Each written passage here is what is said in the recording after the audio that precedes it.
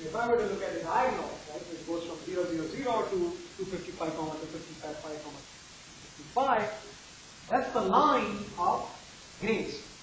Right? Because that's the line on which you have equal amounts of all the three values. And basically that is your going from black to white.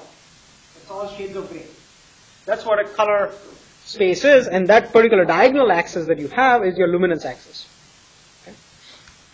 Now, if you want to go from there to a CMY space, keep in mind it's a subtractive space, right? So being a subtractive space, the way you compute CMY is nothing but you look at the max value of RG and E that you have and you take the corresponding value, subtract it. So that gives you an equivalent representation of CMY. Now in general, of course, to, to do complete reproduction of all the colors, you have to have black channel as well. So you, you have to add black into the mix. That's why typically you have the CMYK representation.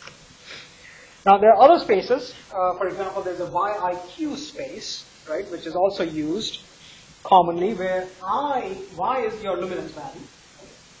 I is actually red minus the cyan value, and Q is the magenta minus the green value. So that's the another representation, and typically the transformation defined for the YIQ representation is given by this 3 by 3 matrix. Okay. So I can go from my RGB values into this YIQ value. Now these values, the reason they exist is because this is what typically is used for you know your, your television and, and video transmission uh, signals and so on and so forth. So for NTSC coding and so on. Uh, and of course, uh, black and white, we white televisions, would actually use just a wire. That would be enough to, to depict the corresponding grayscale representation of the underlying color signal. We, we don't really use YIQ color spaces all that much in computation today, uh, but that's where they came from. Now, some of the spaces that are actually used quite often in computational uh, uses, one of them being the HLS space. An HLS space is basically uh, hue, luminance, and saturation space. So the way it's computed is L is again the luminance value, so it's simply the R plus U plus P. S is your saturation, which is actually defined according to this particular equation.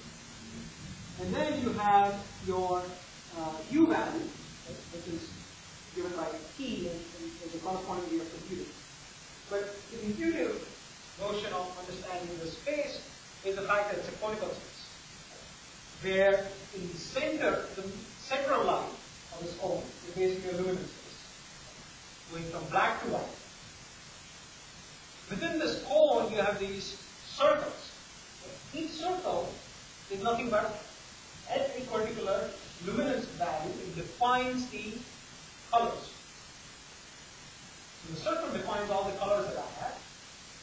And the magnitude away from the center line on that circle defines the amount of, uh, sorry, the, saturation that I have for the color. So the circle will define the hue actually, because I'm the color. And the amount of saturation for that color that I have. So if you are right in the center line, the saturation is going to be low, away from it is going to be high. Okay? And that's what actually gives us a color representation. So now, uh, if I, I'll show you what this uh, will look like in color. Of course, along the central line, you will not have any color. You don't see any color because all you see is shades of gray. If you move away from it, uh, you actually see changing saturation. So, you know, you'll actually see brightness. But also along the angular direction of the circle, in the color change.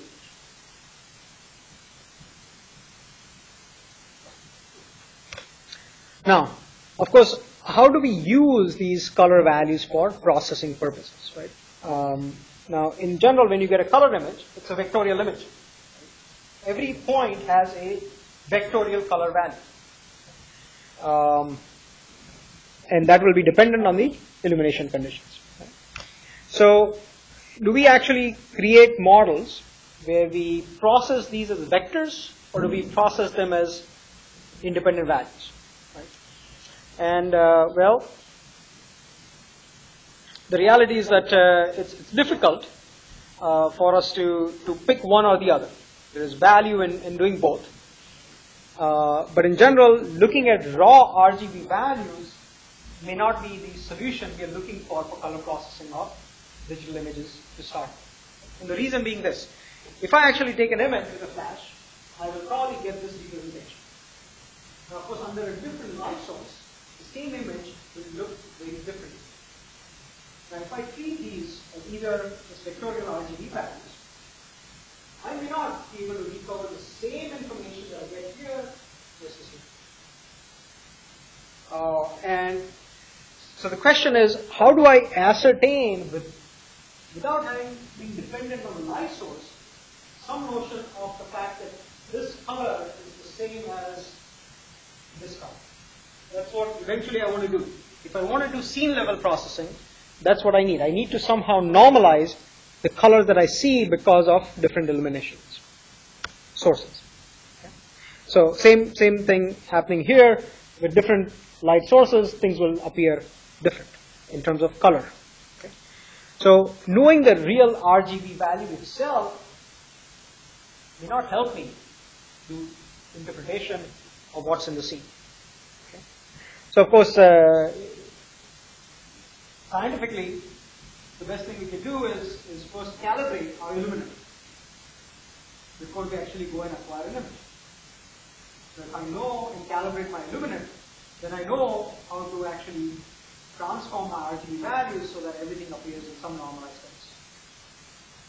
So remember, if I know my illuminant curve, and I get my output, I can normalize everything and say, well, I can deconvolve my output values with my input transfer and response function and get back my some normalized reflectance curve. Right? So if I have that, then it doesn't matter where I am, it should appear the same for the same object. Well, that would be great, but we can't probably do that all the time. Right? If I could, that's what I would do. Now, in reality, I, I still have to just deal with, in most cases, images that I get, and in some cases, uh, uh, you know, grayscale images or vectorial color images. So for color images, I can choose one of two type of processing. One, what I typically refer as marginal processing, or the other is a vectorial processing. Marginal processing being where I just treat each one separately, independently. I process all three, get some result, and somehow combine the result in order to make some interpretation. Or I can do vectorial processing, right? Uh, so this is marginal processing. I, I have some process that is a scalar process. I get the result and move on. Or I can do a vectorial processing where I combine the three and treat it as a vector and then get some result uh, as a vector. Now there's problems uh, associated with what may consider, we may consider false coloring, right? So let's say that uh, I'm going to do some vectorial processing on this. And uh, the reality is that if I do vectorial processing, this image under a particular vectorial process may appear like this. Or if I were to process this image in a marginal form, it may appear like that. And the operation that I would look at would be a simple operation in median. Right? If you want to do a median filtering on this image, and treated it as a marginal image, right? So I look at the corresponding red value, green value, blue value, compute the median, filter result, right? So some 3 by 3 block, 5 by 5 block, whatever you want to choose, pick a median value at the location, independently for red, independent for green, independent for blue. I will end up with a filtered image that looks like that, and you can kind of see that median. If I were to do vectorial median, I would get that. And that's also distortion. Not really what I want. Right? Make sense? So each one of them gives me a false color in my filtered image. And this is a very simple operation. So the question becomes, what do I do, right? If I, if I do either marginal or vectorial processing, I may not get the right answer. So this is the actual example calculation. So if you have RGB values at a given location, and I simply look at the marginal median, this is what I get, right? So I compute the median of R separately, the median of green separately, and median of blue separately. So I get this value. If I do vectorial median, I just pick the middle value and I get 0, 100, 0. So obviously the results are not the same. They are different. Um, question being now which one is the correct result? I don't know. I don't know. And chances are that neither are correct, of course, as you saw in the previous example, if my intent was to do filtering. So there are some problems, and as a result, RGB processing in its native form is probably not the appropriate way for us to process images. And we have to look at alternate color spaces. Okay? And the idea of looking at alternate color spaces would be the fact that you want to decorrelate the color channels. If you truly want to do marginal processing, you should do it on the fact that they are independent. That way the marginalization makes sense. So I should generate a color space which is truly independent. We know the fact that RGBs that we get are not independent from each other. So maybe that's what I want to do. We look at principal components of RGB. I want to bring information uh, which actually makes sense in terms of perception models. Right? So look at hue, saturation, and brightness values and design color spaces based on that. And of course, I want to ensure perceptual uniformity. Right? So when I actually look at these color spaces, I want to make sure that if I compare things, you know, they compare uniformly across the entire space of colors. And I don't have to worry about where I am in order to compare things. So we will look at some interesting color models and compare them to see which might be appropriate for us to use in, in terms of digital processing. We'll look at that next time. Okay. All right. Any questions on uh, any of this uh, that we've looked at today?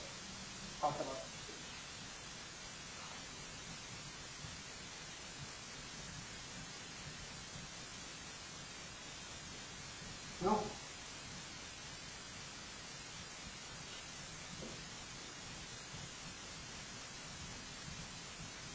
Okay. Very good. Well, um,